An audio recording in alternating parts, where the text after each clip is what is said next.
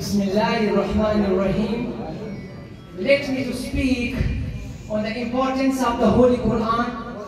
Before, uh, starting on words of my special words on the Holy Quran, welcome to respected ulama karam, Jumet Nazariyati,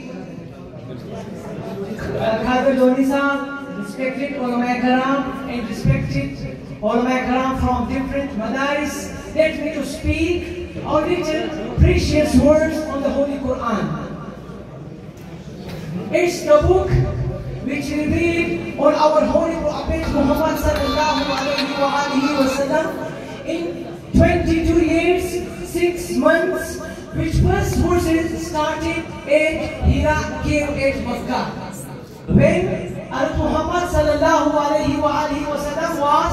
on the way to Hijrah with Abu Bakr at Hira cave where the first verses of Holy Quran started. At the age of 40, Muhammad sallallahu alayhi wa alihi wasallam through by Jibrailul Ameen, first verses revealed on him. In today's life, this is the only book which Allah states in the Holy Quran that I am the responsible of this book which will be safe and safety till doomsday and this is our faith. Along with this, Allah says in the Holy Quran, this is the book which purify our hearts.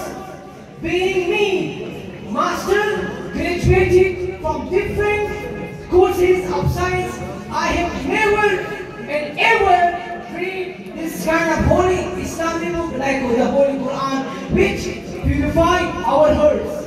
Along with this, this is the only book which contains words most best beautiful words, meaningful, beneficial, and along with importance. This is the only book which teach to humanity.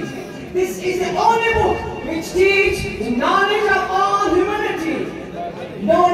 of no difference of nation, no difference of caste. This is the only book which tells the dates, which tells the events which are coming before doomsday. This is the only book, the only book which teach us the way of life. This is the only book which can make these kind of wonderful, these kind of great, these precious scholars of Islam which are here. Along with this, this is the only state in Pakistan, an Islamic state. This is because of this Islamic Quran, Islamic education, being Pakistani, we proud to stay an Islamic state. This is the only book which tells us the difference of the things allowed in Islam and not in Islam. This is the only book which control us the things which are not in Islam.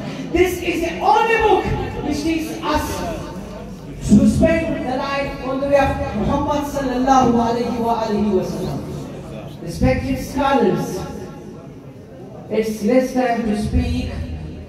I just say that if today Pakistan is an Islamic power, Islamic atomic power, the only Islamic scholars, Islamic students. So may Allah save this stage till the end of life. May Allah, may Allah, one, one thing here. We all of you, Alhamdulillah, knows the Holy Quran, how